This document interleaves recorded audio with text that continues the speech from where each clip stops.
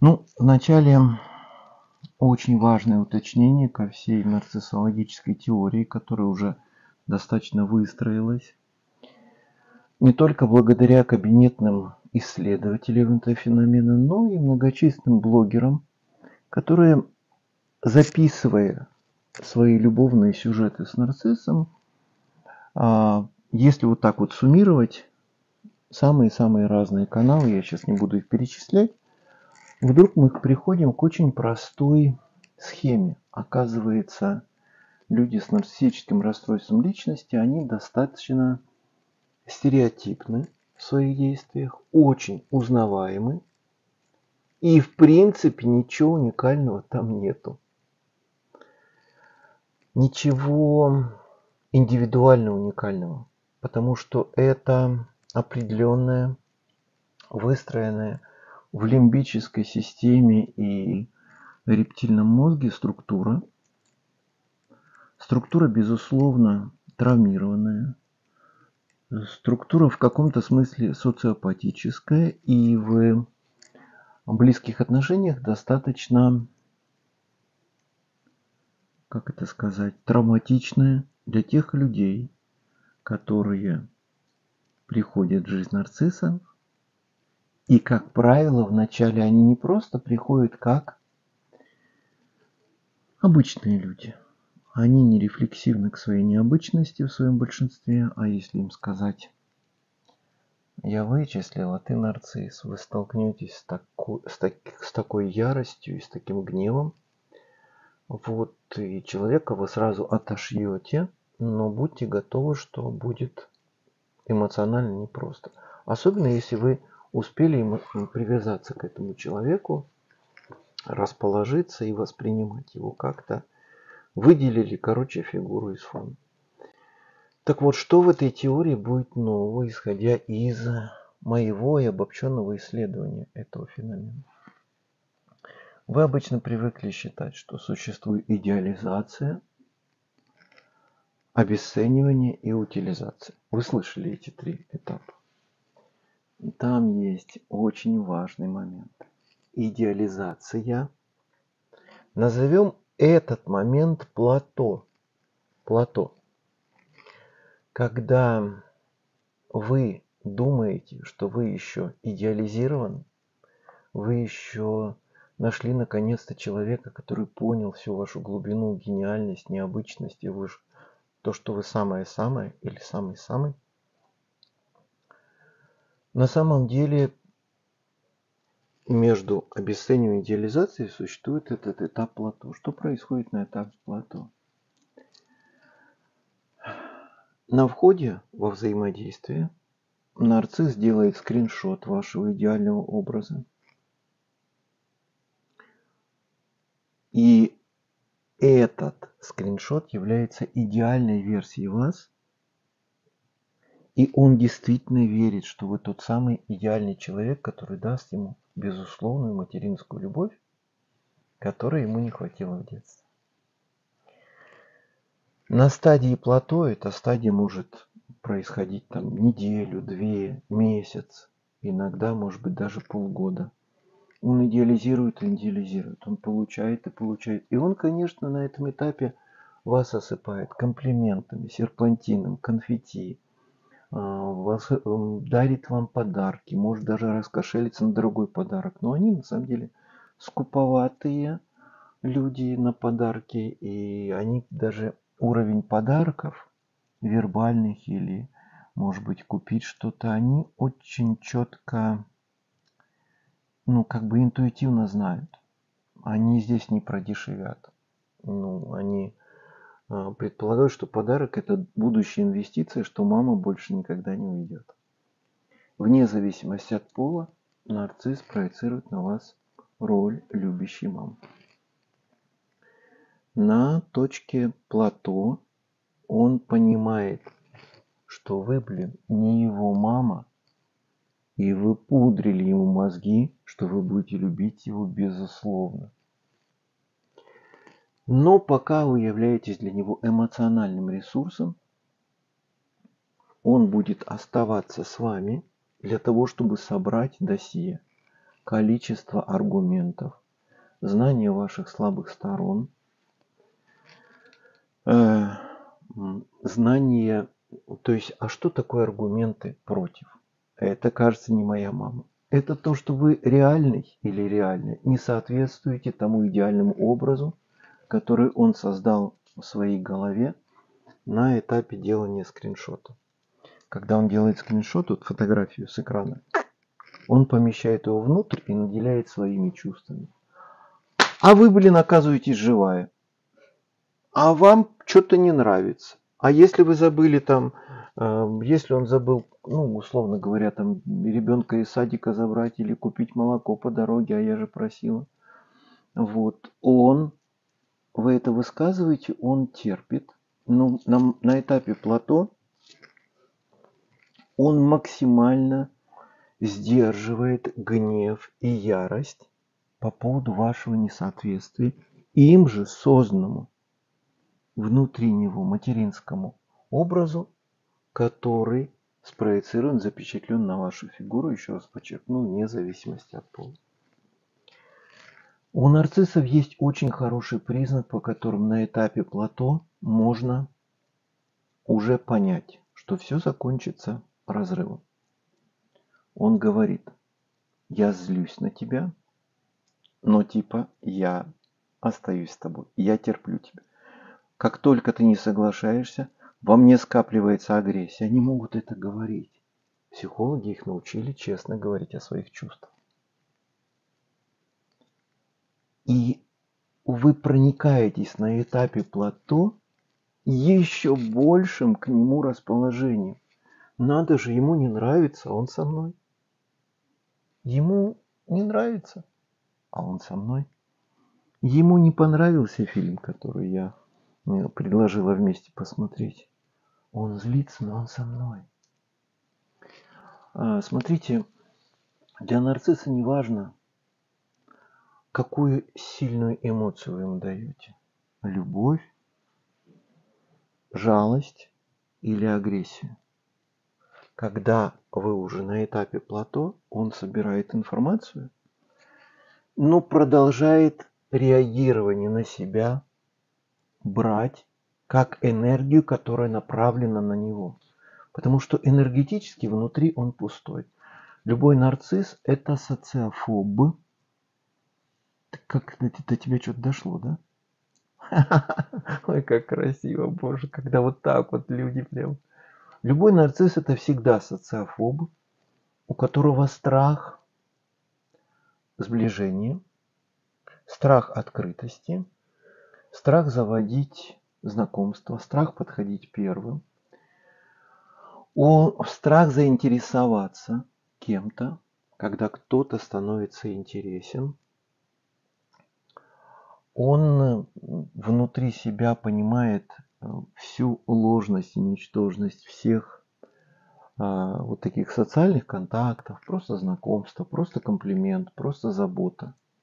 Вот. Он смотрит, где есть свободная касса, чтобы просто все это себе брать, ничего не отдавая взамен. Потому что если любишь, то ты просто делишься. Я люблю тебя, ты любишь меня.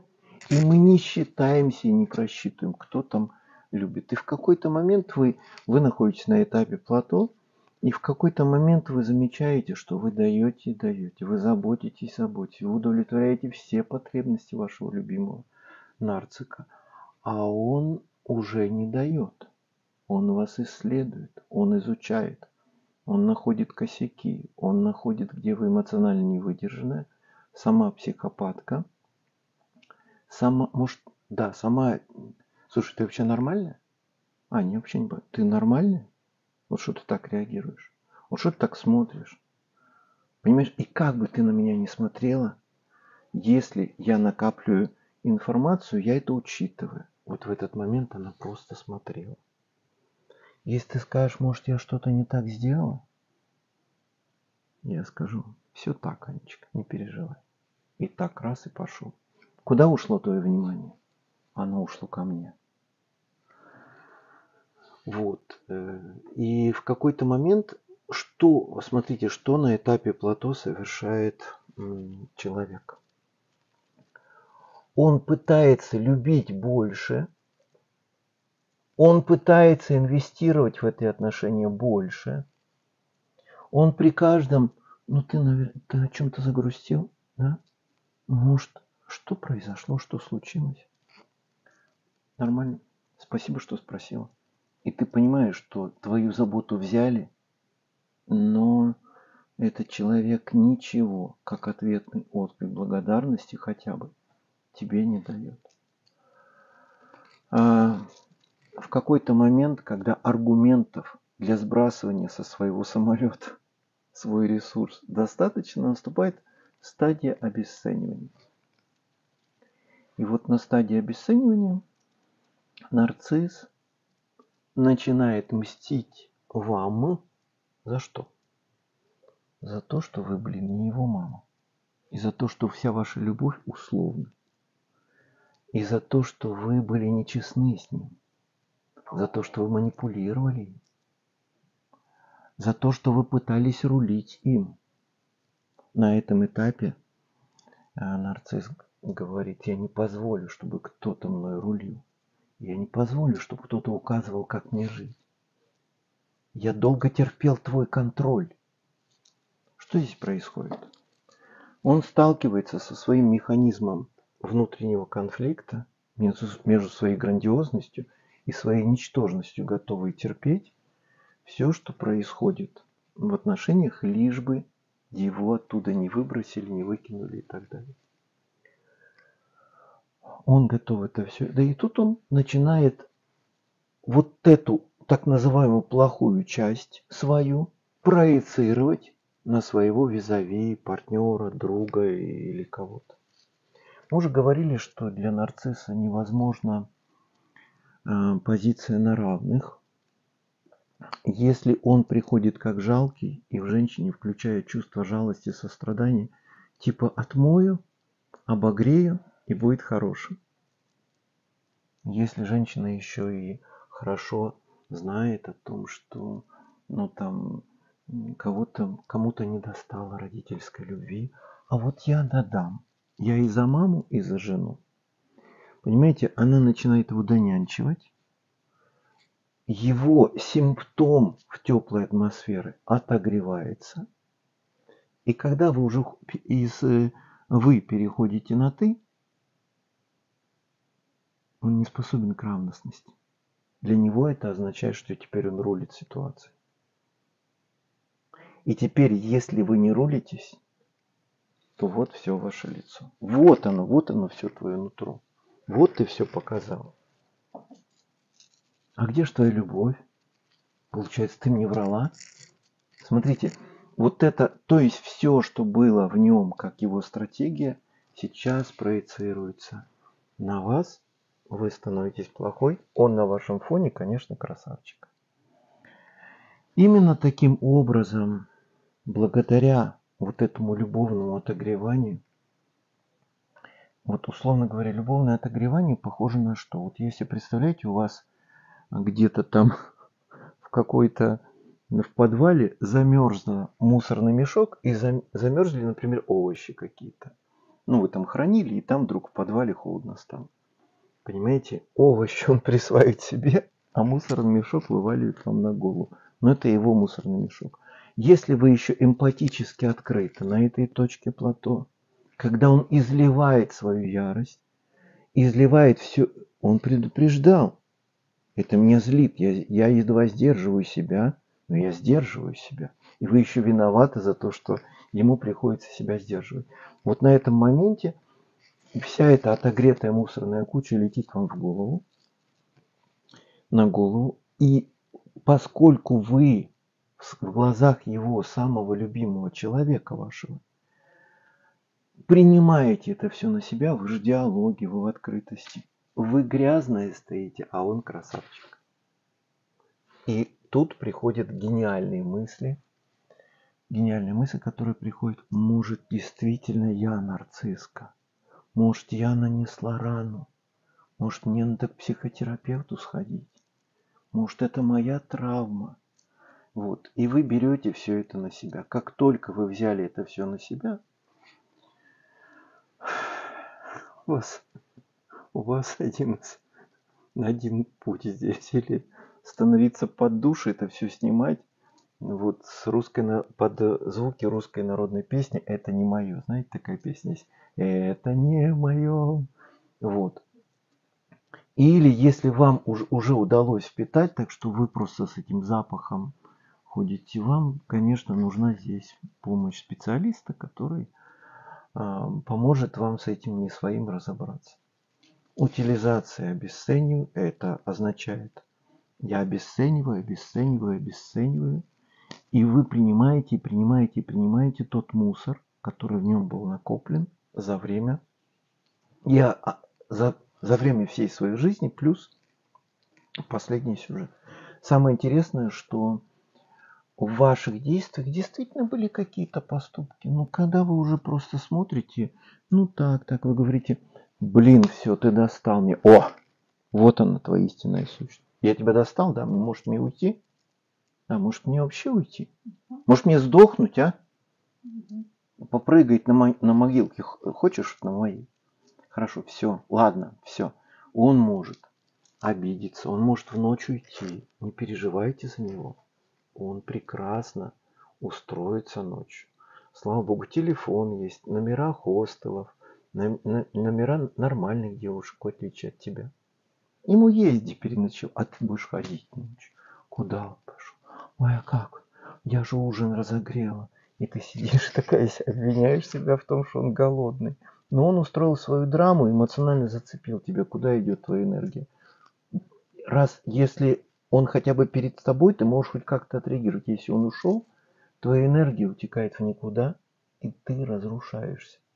Ты разрушаешься. Прощальное письмо нарцисса. Как это происходит? О чем нарцисс на прощание напишет вам? прежде чем вас забанят. Чаще всего это будет какое-то письмо, как будто бы благодарность. Иногда, не всегда. Если это крайний перверзник, то он вылет еще больше гамна добавит. Но если это скрытый нарцисс, а для скрытого очень важно перед самим собой быть хорошим и порядочным, благородным и чистым. Дорогая, я очень тебе благодарен за. Спасибо за сына, спасибо за дочь, спасибо за день, спасибо за ночь и так далее. И вы уже, о, о, о, смотрите, он рефлексивный, он понимает, он ценит приятные моменты. И дальше вы едите всю остальную дребедень, а в остальной дребедень куча упреков, обвинений. Если бы не ты, мы были бы хорошей парой. Я очень желаю тебе добра. Я надеюсь, у тебя все хорошо сложится. Я очень благодарен тебе, потому что благодаря тебе я многие свои проблемы понял. Вот. За это время и там будет хорошее, но с плетением, во-первых, обесценивания вас, а во-вторых, а теперь держитесь, девчонки, мальчишки, тех условий, приняв которые, он, любимый, все-таки к вам вернется. Правило номер один, я об этом записывал отдельное видео. Если нарцисс возвращается, то только на своих условиях. И это были те условия, которые для вас были невыносимы, травматичны.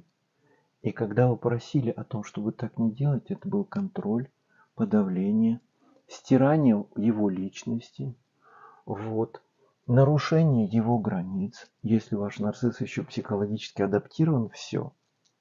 Мама не горюй.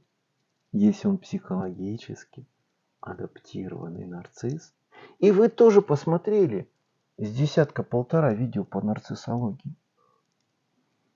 Вот. Некоторые, я знаю, даже хорошие есть такие нарциссологи.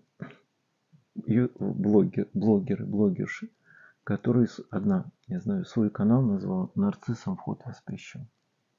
Так и называется. Ну, блогер, я не буду сейчас о ней говорить, но название в этом смысле оправдано, и я скажу почему. Потому что, изучая нарциссологию, адаптируясь, они обучаются более тонким взаимодействием. В тот век, когда с этой темой уже многие работают, многие могут идентифицировать на входе. Вот, э, они становятся более утонченными и изощренными. Мы повторяем, да, то есть еще такой вещь, нарцисс, чтобы понять, о каких вещах. Нарцисс социопат, поэтому он будет демонстрировать вам ну, какую-то свою успешность. Он может говорить, у меня много друзей, у меня есть друзья за границей, я эмигрирую, поеду к ним. Нарцисс может делать после ухода от вас хорошие поступки. Например, брать бомжей с улицы, отмывать. Даже такие вещи случаются. Почему? Потому что теперь ему важно устоять в том, что он хороший, а это кто-то другой плохой. Вот. Но они в этих действиях есть одна единственная вещь. Не здоровая эмпатия, а подпитка собственной правды и грандиозности. На фоне той самой Анечки – которая причинила ему столько душевной боли. Поэтому в разных таких вот группах с обесцениванием мужчин или женщин, как Вита, очень много нарциссов. Более того, есть еще такой вид очень интересный, и я, мне важно об этом сказать, как темный эмпат. Кто такой темный эмпат в контексте нарциссологии? Это тот человек, который продолжает разбираться с темой нарциссизма, будучи раненым от одного единственного нарцисса. Он отыгрывает свою травму, накручивает людей и их травмы заостряет, вместо того, вместо исследователей. Исследователи тоже могут быть, быть жертвами нарцисса. Вместо исследователей, которые, поняв, как принципиально работают, функционируют люди с нарциссическим расстройством, а, объясняют из жалости, сострадания и желания, чтобы кто-то в эти штуки не попал. Грань очень тонкая, согласитесь. Но в каком-то смысле а, это видно по интонации. Интонация наезда или интонация жалости – показатель, что травмир на видеозаписи, показатель, что это травмированный нарциссом человек, который, записывая ролики о нарциссах, а, а, продолжает отыгрывать какую-то свою личную травму, усиливая тем самым травмы других людей и стигматизируя нарциссов как детей дьявола, там, не людей, а, там, что там, инопланетян, которые при, пришли разрушить нашу цивилизацию, ну и так далее, всякого рода религия, конспирология, эзотерика им в помощь.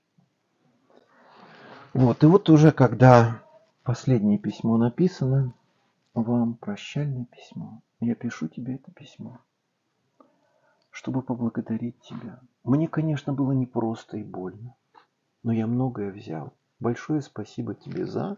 Там обязательно будут вплетены в эту косичку якобы благодарности обесценивание тебя, ну, в мягкой скрытой форме. И тонко вплетены условия моего дальнейшего возвращения. А, это письмо, ну, как бы, это это уже вытряхивание мусорного пакета вам на голову. Если вы решитесь или облажаетесь, чтобы на это ответить, и как нормальный эмпатический человек вы так, а, вот как, хорошо, дорог... вы решитесь начать писать ответ, запомните, уходит человек из вашего дома, смените замок. Если вы пишете, пусть ключ остается у тебя, прости, поверь, и я тебе открою дверь. И все прощу, и никуда не отпущу. Как только вы напели эту песенку там голосовым сообщением, все, вы облажались. Вы пойдете на следующий круг, он будет держать вас запасным вариантом. Э, почему он пишет письмо? Почему он пишет письмо? И кому он пишет письмо? Он пишет письмо своему испорченному скриншоту, который испортили вы тем, что вы реальная, а не идеальная. Понимаете, да? То есть была идеальная картинка. Ну ты ж нормальная была, когда мы встретились. Ты же говорила, что любишь, да? А любить это что, скажи мне? Вот они еще могут, да, вот, да, это отдавать, отдавать, отдавать, отдавать, отдавать, ничего не ожидая взамен. Если любишь, будь благодарна, что я принимаю. А когда мне достанет твоя любовь, или когда у тебя появится ответное ожидание, ну вот, а говорила, что любишь. Вот. Поэтому вы испортили ему жизнь, картинку, созданную им и наполненными ожиданием, что мама вернулась. Вступая в отношения с вами, нарцисс пытается завершить отношения с мамой, разорвав с ней контакт, потому что они у нее незавершенные. А, когда он, ну, и поэтому он проецирует роль мамы на вас, и уходя от вас, он пытается доказать, что я взрослый. Для нарцисса характерны такие слова. Я больше никому не позволю рулить моей жизнью. Подожди, дорогой. А кого ты имеешь в виду? Кто рулил? Аргументируй. Покажи действия, по которым я пыталась или пытался рулить твоей жизнью. Партнерские отношения – это взаимные договоренности, поиск взаимного компромисса. Но там этого нету. Если ты говоришь, давай договоримся, кто ребенка из садика забирает почетным, кто по нечетным. И вот он показывает такую вот штуку. Нет. Ну, то есть у тебя же времени полно, ты, ты и забери. Он не, не обязательство. Да, у него там особые отношения со своими личными деньгами. Он скупердя и трус, что ну, как бы он боится, как только речь о совместном бюджете или равном вложении, ну, вот, то это для него просто шок совершеннейший. Вот. И смотрите, почему он не выходит на разговор. Потому что вы реальные для него, для его симптомок нарциссического, который активизировался благодаря, что вы отогрели. Вы реально опасны. Он трус и энергетически боится взаимодействовать с вами реально. Проще написать прощальное письмо, которое вызовет его смешанные чувства, и в то же время ощущение незавершенного гештальта. Гештальт не завершится. Что такое незавершенный гештальт? Вам что-то такое сказали теплое, странное, непонятное, с чем вы не согласны. И вам хочется... А у вас все. Рот заклеен. Особенно они любят еще... Они или ожидают, или сразу блокируют возможность ответа. Вот. Поэтому, если вам вас обесценили, если вам уже написали прощальное письмо, ну нафиг. Разбираться с этим трудно, но боль, возмущение, а может быть уже в нашем нарциссическом мире трезвое отношение к происшедшему сюжету можно вполне как-то ну, отреагировать, поговорив с кем-то по душам. Мне хочется ввести еще один важный термин в отечественную нарциссологию. Все нарциссологи открыли блокнотики и стали записывать. Я шучу, шучу. Смотрите, человек может с точки зрения диагностики вовсе и не быть нарциссом. То есть у него как такового нарциссического расстройства нет. Но видя, как люди эмоционально, сексуально, финансово используют других людей вокруг, как это происходит в голливудских фильмах, как это происходит в русских фильмах э, и сериалах, там, когда кто-то кого-то там кидает на деньги, изменяет. Но я тебе изменила телесно, но душевно я люблю тебя. Вот, вот это, понимаете, вот это называется нарциссический бред, если вы эмпатически открыты, вы... а, что и так можно, то есть изменили телесно, а, ну, а душевный человек, ну, значит, ну, все, прощаю, принимаю. Ты же не душевно изменил с ней, ты же телесно изменил. То есть мы принимаем их бредовые интерпретации, растворяя свою чистую здоровую психику с их нелогичностью, неэтичностью, неэмпатичностью. Но поскольку слова составлены с точки зрения грамматики русского языка правильно, нам кажется, ну вот такое объяснение. Ну что ж, если я люблю человека, придется им, им при, как бы согласовывать эти интерпретации, искать, ну, воспринимать. Если человека ты принимаешь, значит его интерпретации принимаешь. Когда таких интерпретаций слишком много, они с экранов российского телевидения, они также э, из Ютуба, из хороших фильмов, когда, если вам нравятся фильмы про детективы, убийства, вампиры, ну, то есть вот эти все штуки, там, когда кровище, мясо, расчлененка, все, вы это все смотрите, и ваши этические стандарты, они как бы снижаются. То есть и вы тогда начинаете в речи проговаривать. Ну, он ее любил так, что не смог вынести измены, и поэтому разрубил ее на четыре части. Ну, такая любовь. И так тоже случай. Понимаете, ваши интерпретации вплетаются психопатологии как вариант норм. И те люди, у которых хорошее воспитание, здоровая материнская и отцовская поддержка, но которые видят, что вокруг люди-то живут не так, в основном потребляют, используют и находят добрых лохов и лохинь. Лохинь, да, какое слово? Которые готовы принимать таким, как есть, прощать таким, как есть. Ну, они говорят, значит, надо просто искать лохов, которые за бесплатно прилетят в вертолете. Нельзя называть слово голубой со вчерашнего дня, просто в вертолете. Вот. Да. Покажут кино, подарят эскимо. Вот. И в этом смысле, да, потом еще, знаете, такая вот мужчина полигамный. Мы мужчины полигамные существа. Мы не можем долго фокусироваться на одном партнере. Ну, вообще, а на входе мы договаривались об этом. Вот. Даже я знаю одну женщину, она мне спрашивала, просто моя знакомая хорошая, говорит, вот я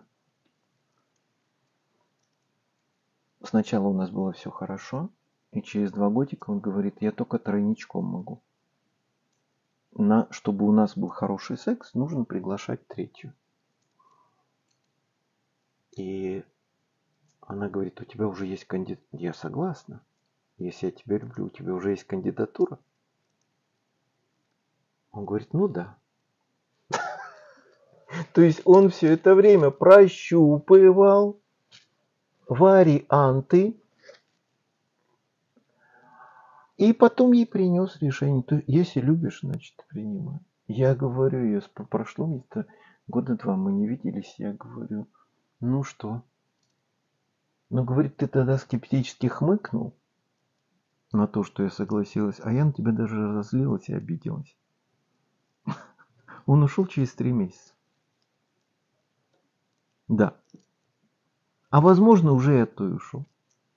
То есть, поэтому, понимаете, когда мы любим, мы нашу самоценность и наши этические стандарты занижаем в пользу любимого человека, и иногда даже не говорим, чтобы не расстраивать.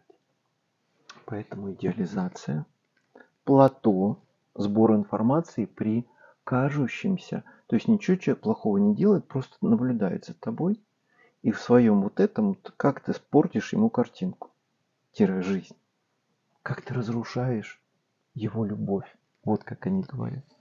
Обесценивание с прощальным письмом в конце. Если не заблокирован, он ожидает, что вы ответите. И как только вы ответите, вы с кем разговариваете? С его патологией, нездоровым симптомом. И дальше утилизация, когда вы просто труп в мусорном мешке для него. И вы именно так себя ощущаете. Меня выкинули из жизни. Он ушел, квартира есть, собака есть, двое детей есть. Но меня нету. Не его нету, а он лучшие, вложенные в эти отношения части меня забрал с собой. И мне нечем больше любить, нечем верить и доверять людям. Я пустая, я опустошенная. Мне на себя, на детей сил не хватает. Вот, поэтому так возвращаемся к прощальному письму. Мальчишки и девчонки, не ведитесь на прощальное письмо. В нем шизофреногенные паттерны, я так говорю человеческим языком, противоречивые послания и задачи здесь для нарца. Застолбить аэродром на всякий случай. Он заботится исключительно о себе. Потому что если бы ему нужно было, ему дороги были эти отношения, он пришел бы и сказал, допустим, он такой осознанный нарцисс, просветленный нарцисс. Мой сценарий включился. Я вижу, как я тебя и сма... как у меня в голове образ тебя меняется на полную противоположность. Я не могу, я выбираю быть с тобой. Я прошу, пожалуйста, давай, может быть, кому-то сходим вместе. Давай вот, я тебе честно говорю, я не хочу вести за этой болезнь, потому что это у меня уже будет пятый брак. И я узнаю, я понимаю, что ну, это женщины, мужчины, кто угодно. Это просто объекты воздействия. Там я, я хочу остановиться, я хочу быть с тобой, и я не справляюсь, не вытягиваю сам. Вот. Сейчас я могу варианты сценария предложить. И вы, будучи девушкой психологически, без образования клинического психолога, вы скажете, ну давайте найдем психолога. Давай походим на семейную терапию. Как будет развиваться сценарий в таком случае? С большой вероятностью на 95%. Вы будете ходить к этому семейному психологу. Неважно будет мужчина или женщина, или ваш партнер нарцисс или нарцисска. Вот эта голодная нарциссическая черная дыра, пылесос, он вас уже выпы, выпылесосил. И сейчас он на этого психолога направит свое внимание и проактивно идентифицировать его с мамой вне зависимости от пола. В какой-то момент вы почувствуете очень странное ощущение, как будто вы ходите на семейную терапию, на самом деле у вас поднимается какая-то волна ревности. Вы смотрите, что с психологом или с психологиней он такой добрый, открытый, да, такой, мне не хватает понимания со стороны людей – Иногда я встречаюсь с непониманием со стороны жены. Мне кажется, что она чрезмерно требует, хотя я понимаю, что дело во мне. А, а вы сидите, слушаете, понимаете, что он сливает ваши семейные секретики, и он вас обесценивает под видом того, что он терапевтируется. Проективная идентификация произошла. Мама теперь другая, не вы. Потому что там тетенька или дяденька меня безусловно любит и ни в чем не обвиняет, ничего не требует. Денежки заплатил, получил любовь. И вы понимаете, что это какой-то чертов, ну, э, чертово колесо. Что это какой-то...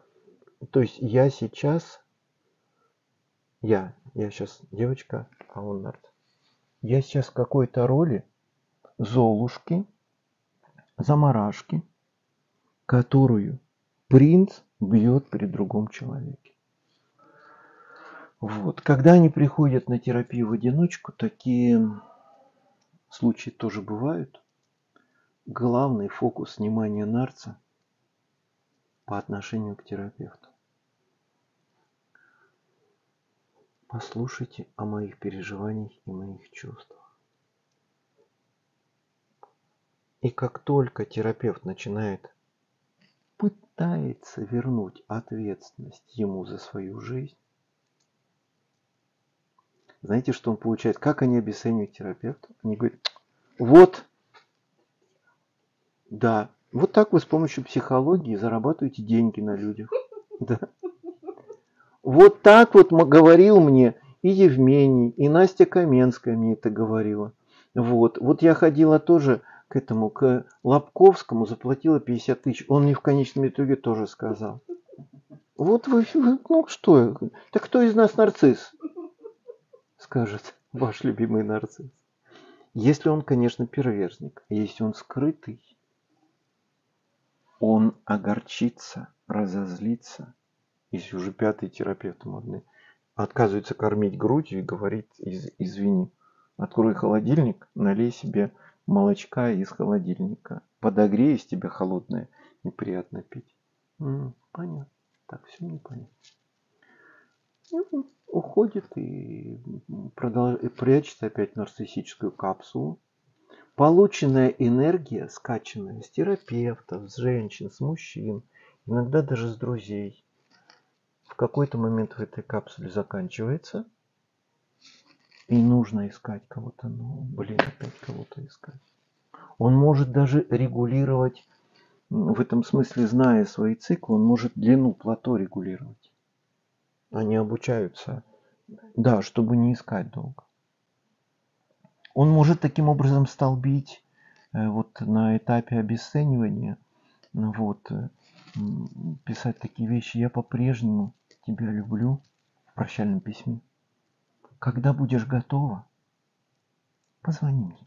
Я тебе всегда буду рад. То есть, ах ты, тебе плевать, как я сейчас переживаю. Когда я буду готова? Да никогда я не буду готова. Я не собираюсь быть готовой. Но если вы находитесь в СОЗе, в любовной зависимости, вас эта мысль будет греть. Да, что если вдруг я захочу теплоты, не полюбившейся когда-то, то я позвоню. Позвоню. Мне есть куда позвонить. Они так интересно цепляют людей, знаете, вот, ну, вот я знаю одну пару, которые развелись уже 4 года, живут в разных городах. Она воспитывает троих детей. четыре года. Но у нее стоит штамп в паспорте, что она замужем. И она говорит, понимаете, я всей своей душой понимаю, что бумажки ничего не значат. Я всей своей душой не встречаюсь и не интересуюсь им. Ну, как будто бы мне, если пойти и этот штампик убрать, это равносильно, ну, как будто бы себе в живот заткнуть нож глубоко. То есть, и, и там действительно серьезный нарциссический случай. Девочка, женщина уже сама живет, уехала в другой город, воспитывает детей. Ну вот такие, я, я говорю, понимаешь, что это у тебя глюк в психике? Штамп в паспорте, если вы никто друг другу, и у вас нет какой-то вторичной выгоды, выгоды. А, там все уже, по всему там. То есть, если даже вопросы с имуществом, эти вещи ведь можно разрешить. И существуют судебные инстанции хорошие, которые помогают. Да, вот а, там уже ничего не было, кроме штампика. Но это страшно. Это значит, вы в СОЗе. И это значит, вы продолжаете ждать. Это значит, вы помните начало – хорошие моменты и совершенно игнорируете то, чем это завершилось. Понимаете, это, это очень мощный глюк мозгу. Помнить вот это начало и вычеркнуть из памяти. Хорошо же было. Вот эти вот все фрагменты. Вот, поэтому как бы мой там моя открытие на сегодняшний день или как это сказать, это не открытие, а закрытие темы прощальное письмо нарцисса. Здесь вот не ведись. Здесь мы напишем под заголовком не ведись. Вот, оно завершено, но если есть какие-то отзывы, замечания, предложения, может быть, пожелания или вот обратную связь, только не с позиции эксперта, а как по чувствам. Вам сейчас, особенно тем, кто мне больше всего кивал и жестикулировал за кадром, как будто бы ты делала сурдоперевод для глухонемых. Подожди, подожди, подожди, подожди, подожди. Дайте, пожалуйста. Только аккуратненько. Горит там огонечек. На самом деле мне казалось, что у меня уже это вообще в прошлом далеком каком-то страшном. А может быть, что плато, потом чуть-чуть слил, потом опять на плато. Так может быть, потому что 11 лет жизни как бы... Да, да. Ну да, там вот если бы ты меня обнимала и как-то это... Ой, какой-то ужас. Слава богу, ни, никто не знает, как тебя зовут и кто ты такая. Ну скажи, пожалуйста, у тебя было расставание именно с нарцем? У меня было 11 лет бра... ну, совместной жизни с нарцем, да. И у меня наступил, видимо, уже такой... У меня вот был юбилей, все было здорово, прекрасно. Я вот в этот период в работу окунулась, у меня и бизнес был, и работа. Короче, я деньги стала, вышла в себя. И был день рождения, я себе закатила банкет. Все всех развезла, приехала домой. Сижу, читаю инструкцию от подарка. Он на полу лежит и говорит, ну что ты там читаешь, умная, не умная. Я не поняла, как за пять минут я стою посреди кухни, ору, что тебе от меня надо? Он мне говорит, истеричка. И он пошел спать. Я не понимаю. Я тогда не понимала, что происходит. Я думала, я какая-то сумасшедшая. Вот, но мне повезло какой-то под конец жизни я просто начала жить отдельно своей жизнью под одной крышей с этим человеком. И когда он меня выгнал, мне опять же повезло, что меня выгнали. Потому что это я тогда была обижена. Сейчас я понимаю, что я бы, наверное, даже и не ушла. Вот это вот. Я ж три раза, два раза к нему возвращалась вот с этим вот. То есть, расставаясь со мной, он мне говорил, я буду тебе помогать. Но я не могу вынести, что ты вот так-то делаешь, ты вот, вот это делаешь. Вот. А когда я звонила соседке, они сидели с ней, придумывали, что она будет мне говорить, что у него там куча девок. Ну это... Господи, не вляпывайтесь в этих людей, я не знаю. У меня просто эмоции прям, все эти воспоминания, так как сейчас. Скажи мне, пожалуйста, что-то уточнилось, да прояснилось. Ну, вот, я поняла, да. Рассказ. Я поняла, что изначально, причем когда мы расстались, то есть я писала маме диплом, мама, наверное... Не уходи туда воспоминаниями, сейчас ага. что-то да прояснилось? Сейчас, ну, проплата, да, вот мы, наверное, на этом платье и прожили это время угу. с какими-то переменами. Да, там вот эти вот штуки могут. Ну да, вот хоп-хоп. Причем, допустим, а вот у нас был такой период, я говорю, все, я не буду жить, ты, ну, ты употребляешь. Он прекратил пить и мне говорит, я пить бросил, а ты? А ты? Я-то вот сделал, а где ты? я не понимала искренне, что мне надо такого сделать в ответ-то. То есть и такое ощущение, что он все время боялся мне что-то передать. Ну, как бы вдруг он мне больше чего-то даст. Угу. Вот это вот я прям услышала, я поняла. Ну, то есть вот прям так очень много рассказано.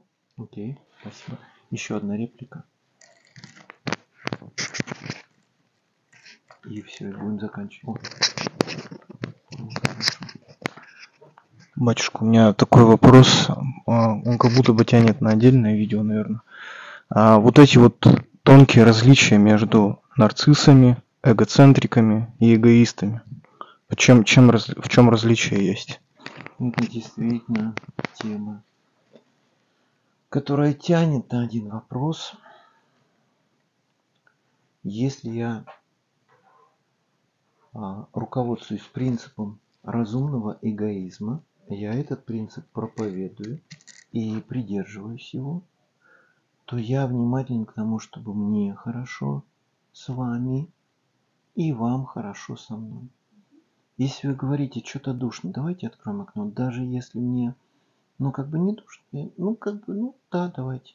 Давайте потише сделаем, а то громко звучит. Хорошо. А вот давайте сегодня пораньше начнем. Окей. Вот. Если мне это неудобно, я говорю, я сегодня пораньше не смогу. То есть я договариваюсь, и есть у другого человека ощущение слышимости, что его потребности услышаны.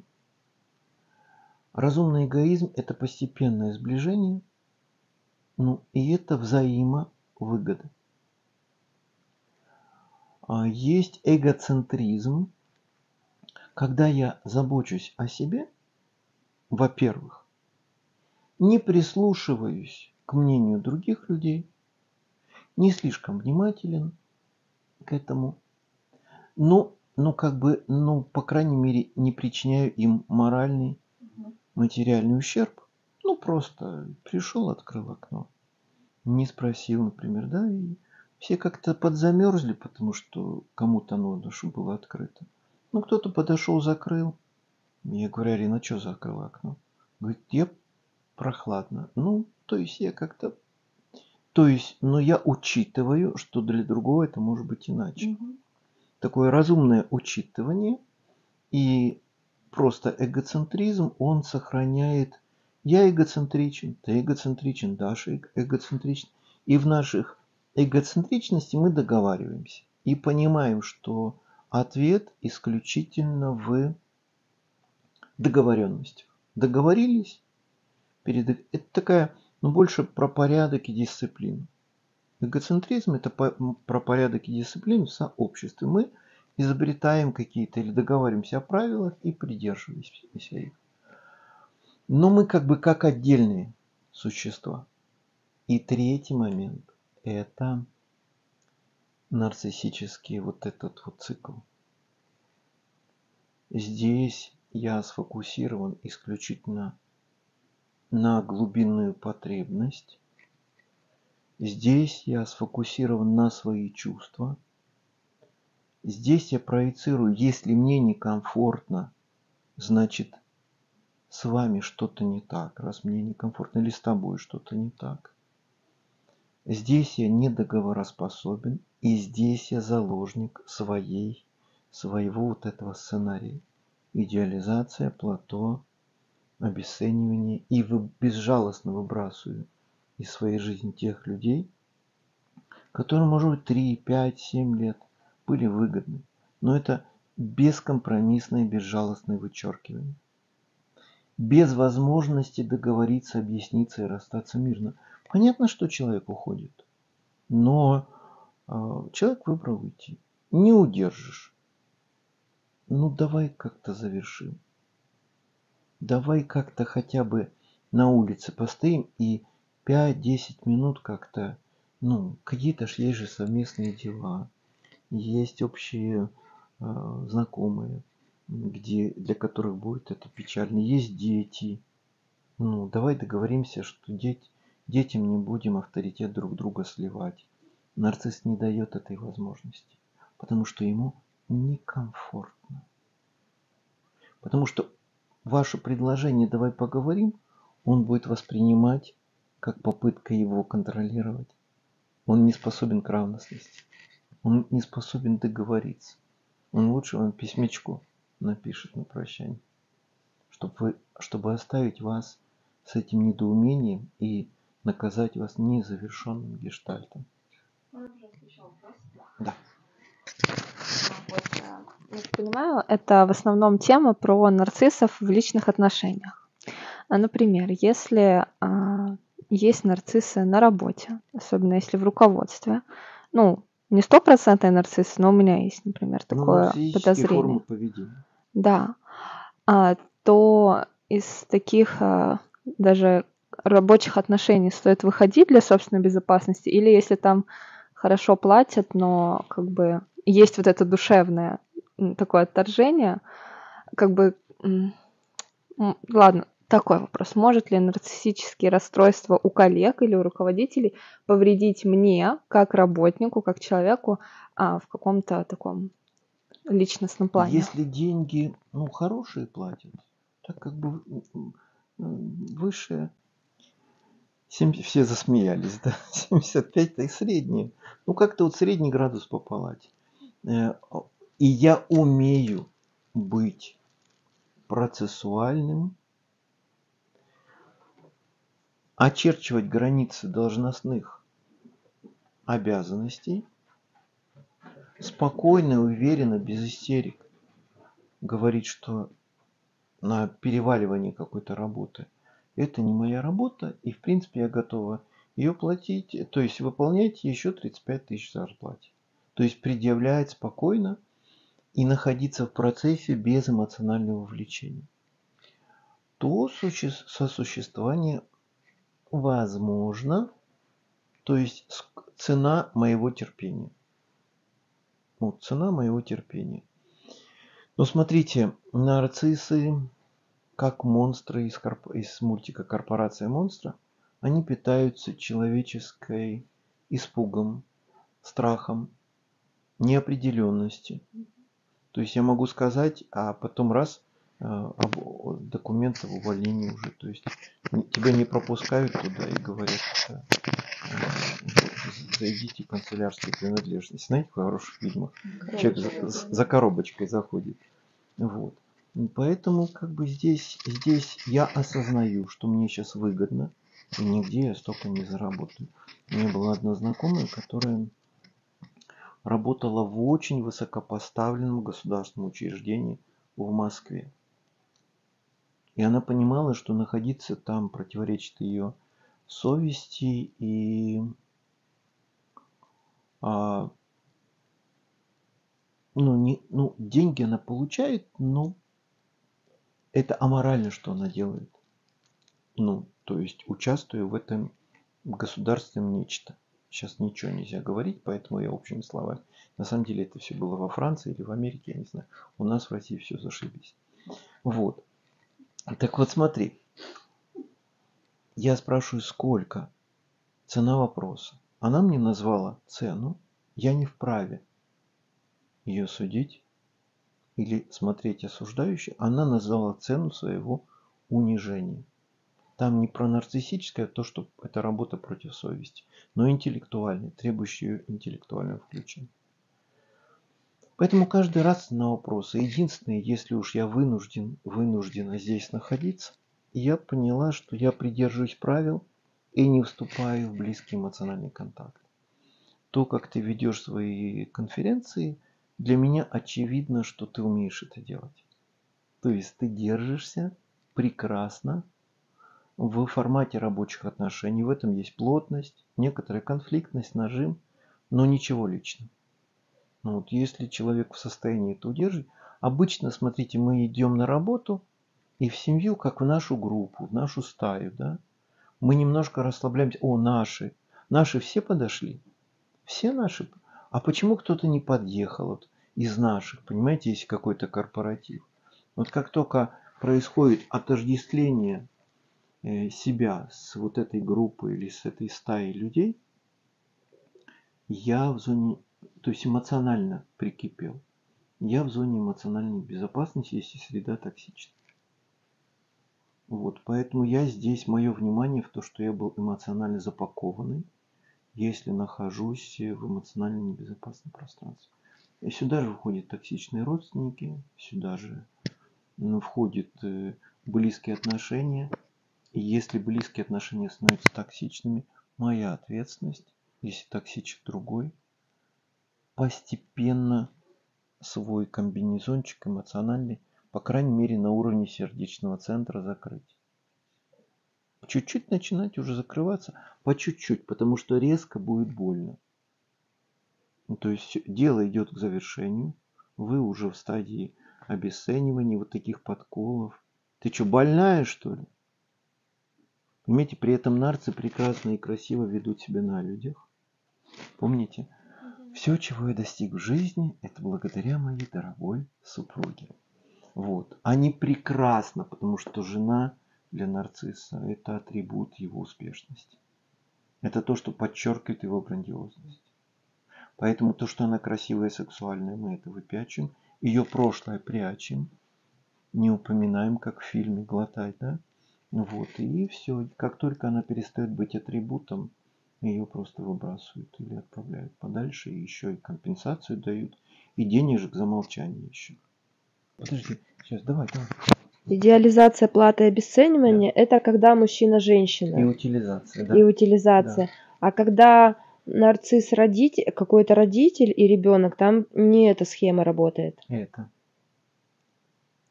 Когда ребенок маленький и беспомощный, если мама нарцисс, как правило, мама нарцисс – это та, которая выкинула, задвинула или обесценила папу.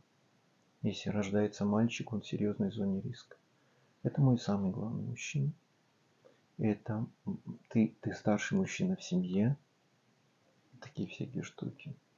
И мужчина рождается с комплексом чего? Если он кого-то там полюбит, мать предаст. Да, он как будто предатель мамы.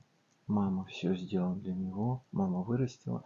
Вот, и поэтому, как только он начинает выходить из зоны контроля мамы, как только он во всем ориентируется хотя бы на себя, уже не на маму, вот это та же схемочка работает. Это тогда уже утилизация происходит. Тогда, тогда она внимательно присматривается. Вот, и теперь она понимает, что а, понятно. Родила, вырастила, а теперь он с, этой лохудрой связался, и она начинает звонить своим подружкам, она начинает рассказывать что на самом деле-то все вложила в него. То есть она делает так, чтобы он слышал в соседней комнате. Вот. И как бы в нем смешанные чувства. Часть привязанности к маме еще есть, потому что мамы-одиночки, как правило, ну, есть у них способность формировать сильную привязанность. А с другой стороны, ему уже по своим делам надо в эту жизнь идти. Но чувство совести не отпускает. И она и вот здесь происходит расщепление мальчика, любимого сыночка, на хорошего, то есть маминого, версию каков-то дает мама, и плохого, которому хочется в жизни чего-то своего, что мама не одобрит. Угу. Вот он расщепился, и... И про него потом скажут, какой двуличный. Да. Да. Благодарю. И вот смотри, и что происходит у расщепленных людей? У них даже уже мама, ну, уже ушла из жизни, умерла. Ну вот, вы слышали, знаете, людей, которые, у которых такая, что вот, да, правильно ты показала. Люди скажут, что мамины программы работают от имени под ником, под никнеймом. Люди скажут, что и человек блокирует себя неосознанно, если нормы и ценности мамы каким-то образом не соответствуют тому, чего хочется ему. Вот эти люди скажут, люди подумают. То есть и возникает то самое противоречие, а противоречия у человека в жизни не должно быть, да, чтобы поступать как-то. Он хочет этого, а она говорит, да, и это все происходит в голове, и человек воспринимает это как э, внутренний конфликт. А когда внутренний конфликт, то есть бежать или замереть, мы, как правило, зависаем. Мы не решаемся, потому что цельного решения двигаться куда-то нет.